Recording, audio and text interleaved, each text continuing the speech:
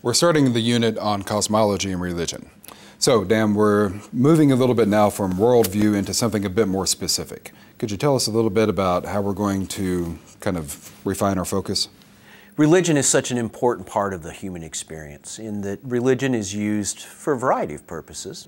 All religions share a, a certain set of features. Uh, most importantly, uh, their purpose. Um, so their, their purpose is to provide a, a way of living, a, a, moral and just way of living. Um, but oftentimes, religion is also focused on explaining the unexplainable. Right?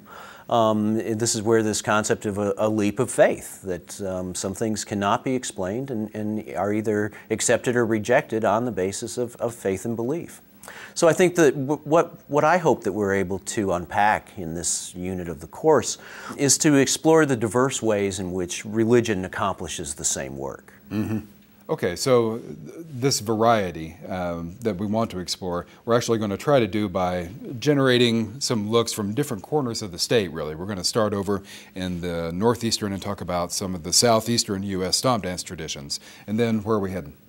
Well, we're also going to look at the uh, Cheyenne Sundance, mm-hmm. um, and we'll discuss newer religious movements among Native peoples, like Peyotism and the Ghost Dance, the revitalization um, uh, efforts. And then we have to discuss Native Christianity. Um, it's uh, so paramount in, in the, the story of Native religions. One of the things that I think we'll start to see when we start talking about native and Christian is that there have been some who have wondered if those are a contradiction in terms, that putting them together all of a sudden like cancels each other out. Um, I'm starting to get the impression that that's not exactly the way that we find people living out their religious lives.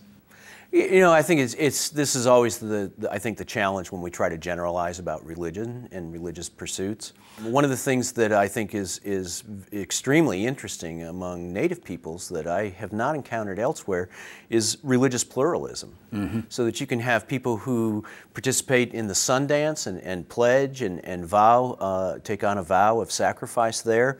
Um, the next week, they may be in a peyote, a Native American church religious service, and then feel perfectly comfortable um, going to, to Catholic Mass or, or, or to, to, to their local Baptist church. I, I got to tell you, it's not always super comfortable going from a all night Saturday night uh, stomp dance to church bright and early on Sunday morning, but yeah, there are people who make it happen. Yeah, yeah, and, and I think that that's, that's another important aspect of all of this is that we find incredible diversity um, within communities, within tribes, and within families. Yeah, yeah, yeah. Um, it's not, it's not um, that, that one path suits everyone. Right. Well, I think that uh, that kind of diversity is part of the reason that we're here. It's part of the rich story that we're going to explore. Yeah.